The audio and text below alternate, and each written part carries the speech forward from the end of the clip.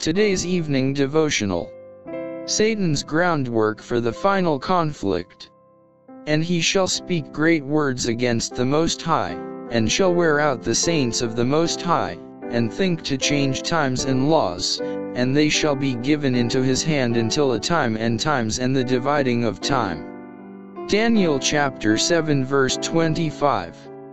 During the Christian dispensation, the great enemy of man's happiness has made the Sabbath of the fourth commandment an object of special attack. Satan says, I will work at cross purposes with God.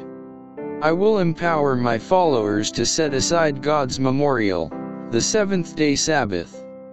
Thus I will show the world that the day sanctified and blessed by God has been changed. That day shall not live in the minds of the people. I will obliterate the memory of it. I will place in its stead a day that does not bear the credentials of God, a day that cannot be assigned between God and his people. I will lead those who accept this day to place upon it the sanctity that God placed upon the seventh day. Through my vicegerent, I will exalt myself. The first day will be extolled, and the Protestant world will receive this spurious Sabbath as genuine.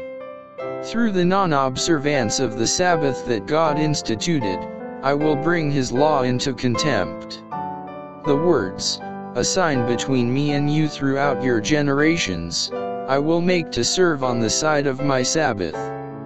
Thus the world will become mine. I will be the ruler of the earth, the prince of the world. I will so control the minds under my power that God's Sabbath shall be a special object of contempt. A sign. I will make the observance of the seventh day a sign of disloyalty to the authorities of earth.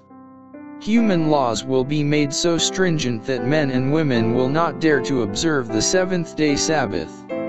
For fear of wanting food and clothing, they will join with the world in transgressing God's law. The earth will be wholly under my dominion. The Sabbath will be the great test of loyalty, for it is the point of truth especially contract overt. When the final test shall be brought to bear upon men, then the line of distinction will be drawn between those who serve God and those who serve him not.